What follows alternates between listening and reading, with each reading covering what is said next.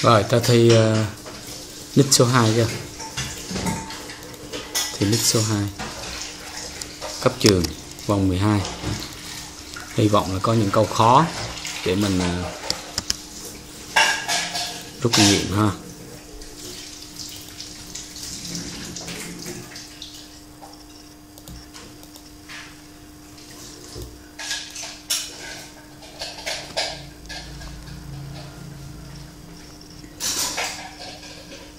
Bài thi đầu tiên.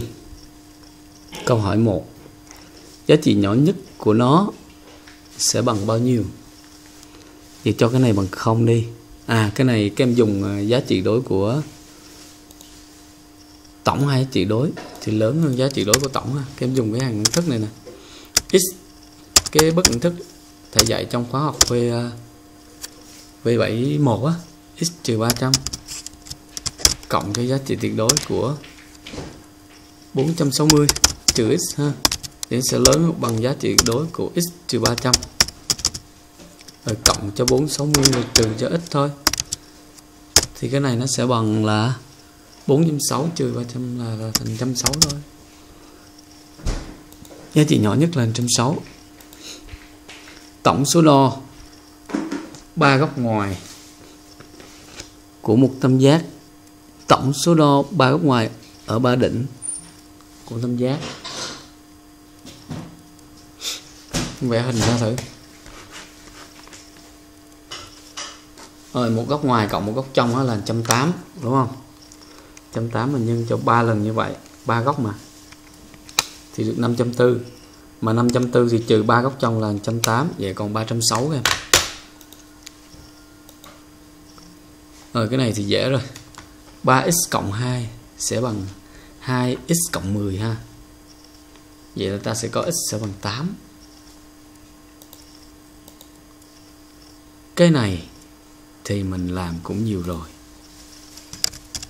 X cộng 1 nó sẽ bắt đầu từ đâu? Từ trừ 9 x cộng 1 nó nằm sẽ vùng giữa trừ 9 và 34 ha.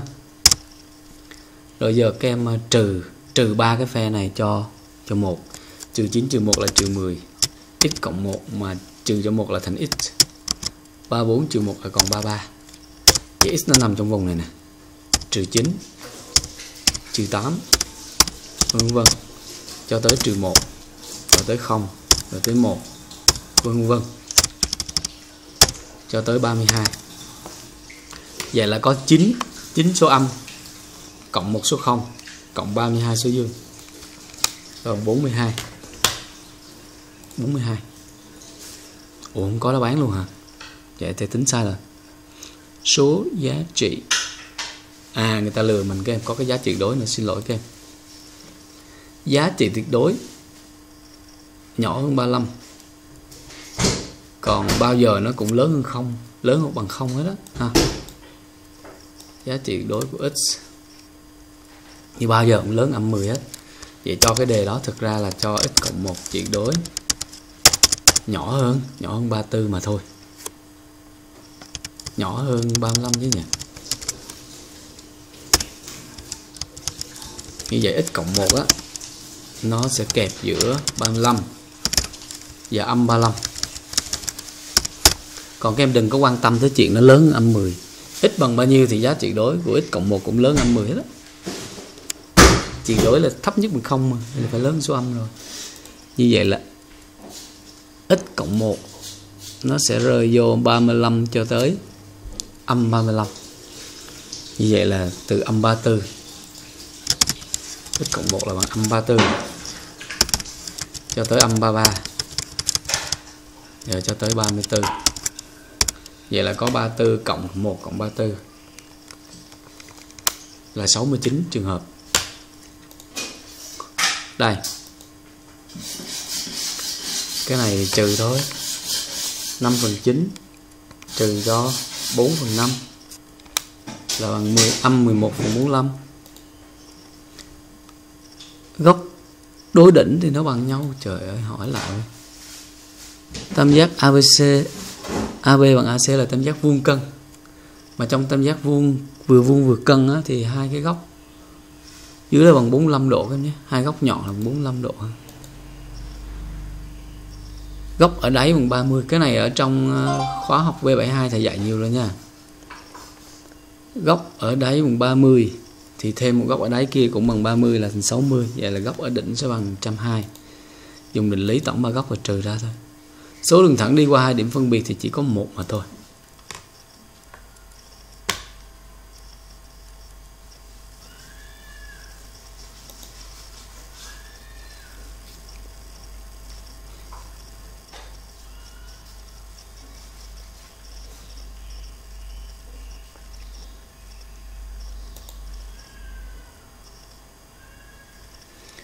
Vẽ tam giác đi.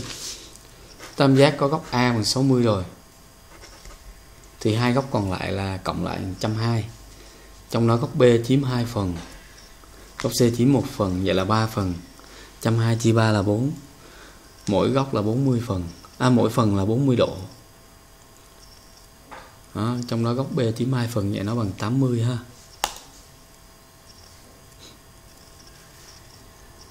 Điểm âm 2 phần 5 thì sẽ nằm trong góc phần tư thứ.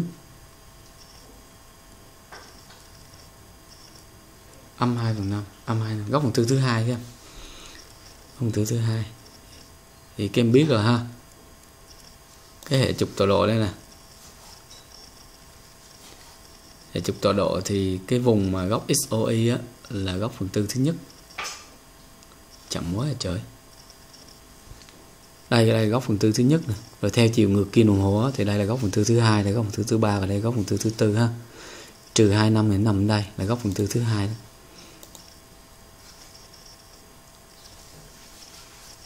cái này là 5 nhân 3 mũ 3 5 lần gấp 5 lên mà một người đi ô tô với vận tốc không đổi là 60 km trên giờ thì lúc đó là S sẽ bằng 60 nhân t.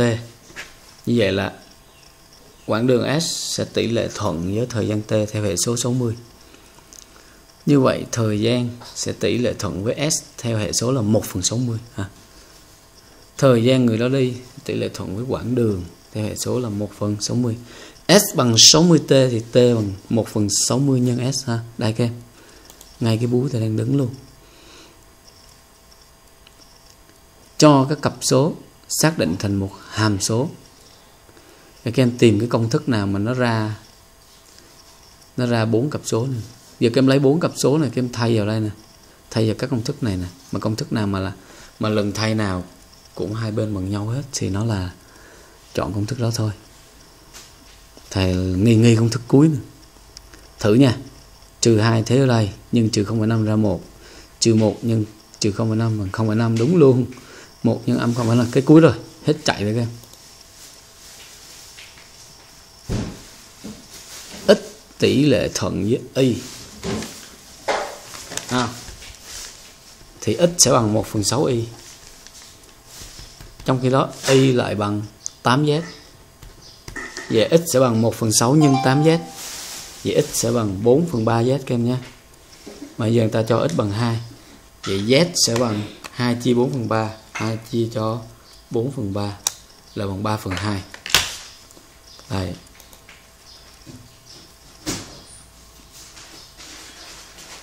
Rồi cái này cái này ở nick trước thầy giải rồi ha. Ở nick trước thầy giải rồi. Ừ, nó ra nhiều tôi cũng nhớ nữa. Bó tay à? Không nhớ.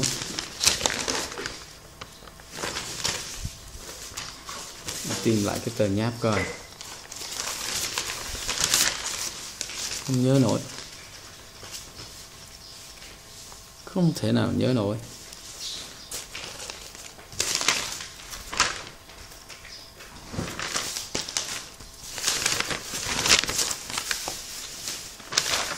Được rồi, tờ này phải tờ này.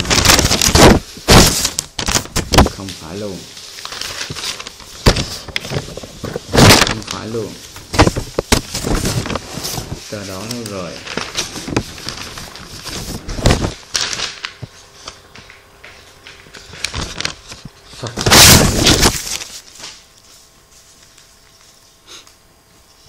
Hình như là 39 hay sao?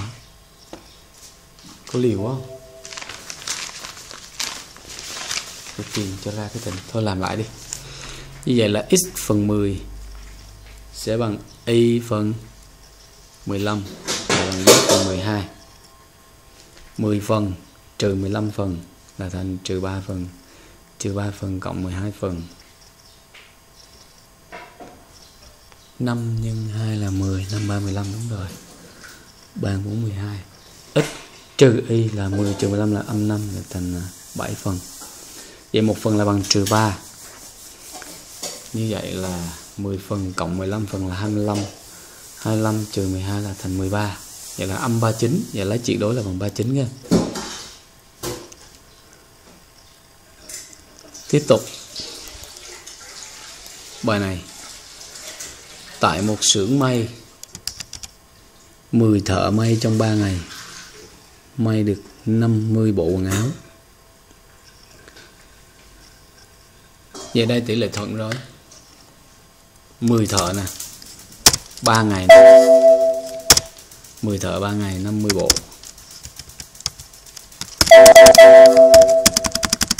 Vậy giờ thầy cần cái gì? Thầy cần à, 150 bộ Trong 3 ngày. Cần bao nhiêu thợ Bộ dễ mà. 10 người nè. 3 ngày nè. 50 bộ. Bây giờ cũng 3 ngày. Cần 150 bộ, như vậy là gấp 3 rồi nè. Vậy là 30 người. Đúng không? Vậy thôi.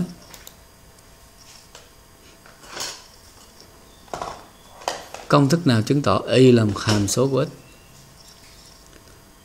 Công thức này. Y bằng x trừ 5 các em đổi y bằng x trừ 5 thì mỗi x thì chỉ có một y tương ứng thôi.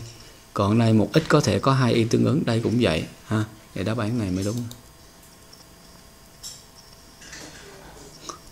Sắp xếp các số hữu tỷ này. Chà, cái này đầu não rồi. Cái này đầu não rồi, kem ơi. Cái này kem đưa về cùng số mũ hoặc là cùng cơ số, ha.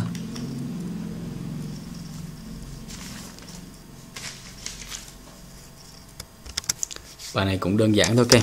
5 mũ 84 rồi các em sẽ biến thành là 5 mũ 2 tất cả mũ 42 rồi 3 mũ 126 3 mũ 126 sẽ bằng 3 mũ 3 tất cả mũ 42 3 nhân 42 á. Đúng rồi. Còn 2 mũ 168 các em sẽ đổi thành là 2 mũ 4 tất cả mũ 42 4 28 4 4 16 rồi. Rồi giờ cùng số mũ rồi. Kem so sánh bên trong. 5 mũ 2 là 25 nè. Còn này là 27 nè.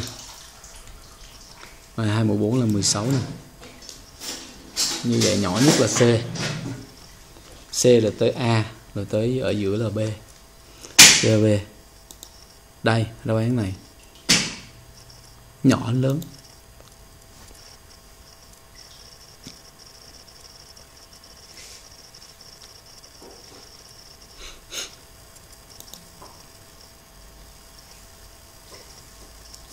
Bài thi số 3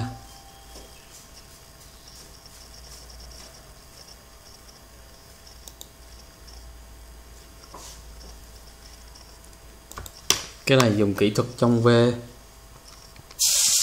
V81 à, V71 nó sẽ ra nhanh lắm các em em nào chưa học thì bó tay rồi. Mất thời gian lắm ngốn thời gian ghê lắm. Âm 1067 trên 450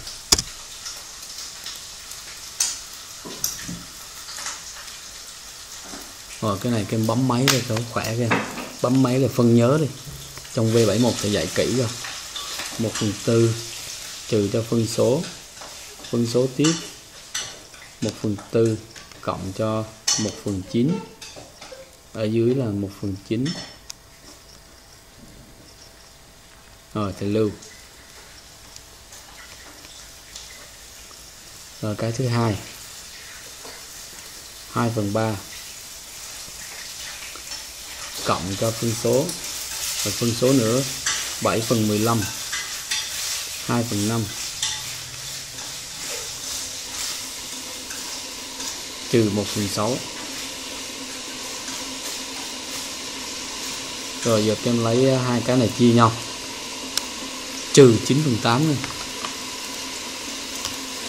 âm 9 phần. 8 cái này chỉ là bấm máy tính thôi mà.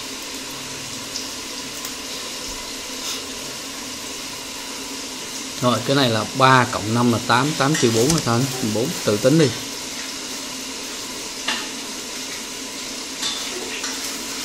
Tìm M để lấy 5 phần 3 Ủa? À, lấy 5 phần 3 thay cho chữ x.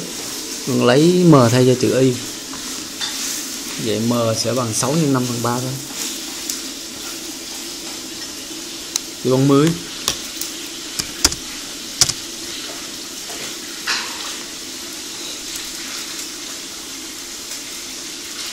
cái này là một bài toán ở trong khóa học về 71 kim nhé. Hai cái này đều lớn hơn bằng không mà cộng lại người ta đòi nhỏ hơn bằng không. Nhỏ hơn không là không được đâu, người ta đòi cái này tức là đòi bằng không đó. Vậy A sẽ bằng 15 để cái thứ nhất bằng không và B phải bằng 18 để cái thứ hai bằng không, cộng lại nó mới bằng không được. Còn nhỏ hơn không thì không được đâu ha.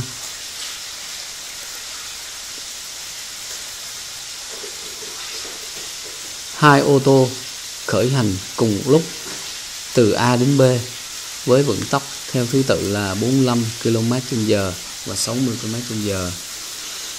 Cái bài này thầy giải ở nít trước rồi các em nha. Thầy giải nít trước rồi. Quãng đường AB là bằng 120. Thầy giải kỹ luôn á, các em qua qua nít trước các em coi. Đó bài toán tỷ lệ thuận nữa. Bài này các em vẽ hình nhanh coi. Tam giác ABC này góc B bằng 50 góc C bằng 50 tam giác cân rồi. Như vậy góc A sẽ bằng à, 80 độ ha. 100 trừ à, 50 trừ 50 AX là tia phân giác của góc ngoài tại A. Góc A trong là 80 thì góc ngoài là 100 trên tia AX các em lấy AD sao cho AX là tia phân giác của góc ngoài tại đỉnh A? Trên TAX lấy AD sao cho AD bằng BC rồi. Tính số đo góc ADC ADC cũng bằng 50 thôi. Vẽ hình ra đi. Cho nó chắc đi. Rồi vẽ lại hình nha. Góc 50 độ. ABC này 50 50 như vậy góc ngoài á là 100 100 là vẽ tia phân giác. Vẽ tia phân giác thì nó ra hai góc 50 ồ vậy song song kia tia AX tia AX sẽ song song với lại BC vì có hai góc so le trong bằng nhau. 50 50 trên tia AX lấy điểm D. Sao cho AD bằng với B BC tính số đo góc ADC thì các em thấy hai cái hình bình hành luôn. Vẽ đúng các em thấy hình bình hành. Vậy góc D ADC nó sẽ bằng 50 ha. Chứng minh hai giá bằng nhau là xong.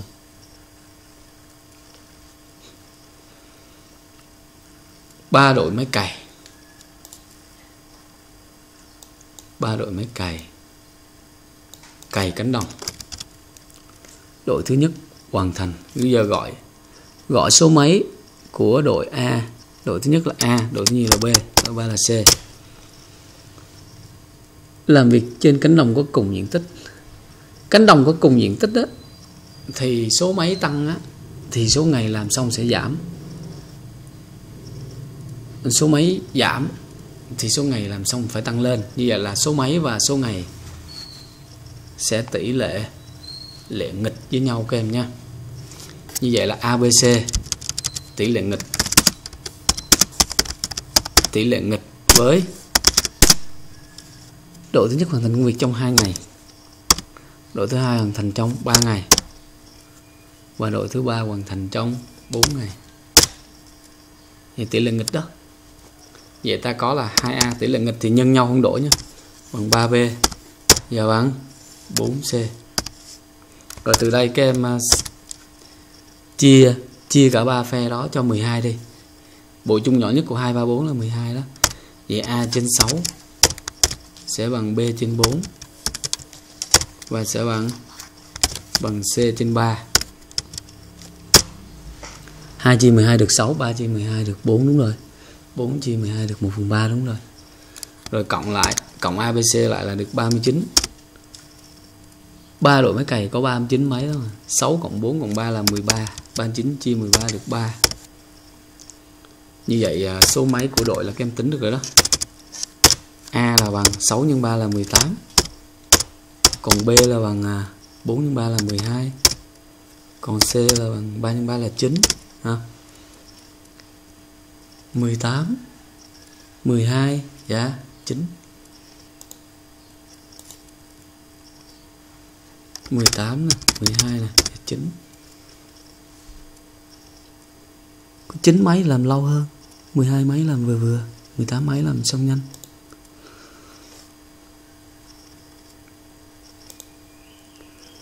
Tập hợp các giá trị x mà làm cho cái này bằng không. Các em dùng chức năng cuối cùng ở trong bài giảng số số uh, số 4 của khóa V71 cũng được. Ha. còn không thì mình giải bằng biến đổi toán học. Như vậy là hai cái này trừ nhau bằng không có nghĩa là x trừ 10 tất cả mũ 2 là bằng 10 chữ x. Chỉ tuyệt đối. Ha. tuyệt đối 10 chữ x. Thì x trừ 10 tất cả mũ 2 á, thì thầy ghi là 10 chữ x, tất cả mũ 2 cũng chả chết chóc ai hết. Đúng không? Vậy các em có a mũ 2 nè, thì bằng giá trị đối của a nè. Giá trị đối của a. Như vậy chỉ có một trường hợp thôi kìa. À chỉ có hai trường hợp. A nó bằng 0 hoặc là bằng 1 hoặc là trừ 1 Thấy không? Không mũ 2 thì bằng giá trị đối không mà. 1 mũ 2 thì cái bằng giá trị đối của 1 mà trừ 1 mũ 2 thì cũng bằng giá trị đối trừ 1 thôi. Người ta có 3 trường hợp á. Như vậy là 10 trừ x nè là bằng một trong ba cái này. Đúng không? Và từ đây các em sẽ có x ha. 10 trừ x bằng 0 thì x sẽ bằng 10 lần. Và 10 trừ x bằng 1 á thì x sẽ bằng 9 rồi 10 trừ x bằng trừ 1 á x sẽ bằng 11 thử đi. 10 trừ 10 hết ok. 9 9 trừ 10 ok 11 ok luôn. 9 10 11 ha.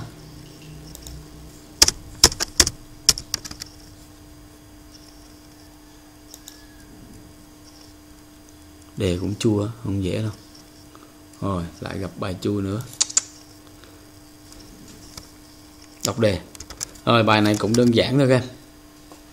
Bài này à, lúc 8 rưỡi á thì cái người đi xe đạp họ đã đi được 6 km rồi. Thì uh, nửa tiếng đi được 6 km. Lúc đó người thứ hai bắt đầu đi khoảng cách giữa hai người là 6 km. Thì mỗi giờ người thứ hai sẽ gần người thứ nhất thêm 8 km. Mà phải lấp đầy khoảng cách là 6 km vậy mình lấy 6 chia 8 6 chia 8 là cái thời gian mà người thứ hai đủ cần để đuổi kịp người thứ nhất ha thì lúc đầu cách nhau 6 km, mà mỗi giờ gần nhau thêm 8 km thì mình lấy 6 chia 8 thôi. Tức là bằng 3 phần 4 giờ. Rồi khi đó, khoảng cách từ chỗ gặp nhau đến chỗ A, tức là quãng đường của người thứ hai đã đi đó, là mình lấy 3 phần 4 nhưng vận tốc của người thứ hai luôn là 20 là bằng 15 ngẫm nghĩ lời thầy nói, các em sẽ hiểu nha. 15 km trên giờ. Rồi, ta đã giải xong cái bài thi này ha. Rồi, tạm biệt các em. Hẹn gặp lại ở nick số 3.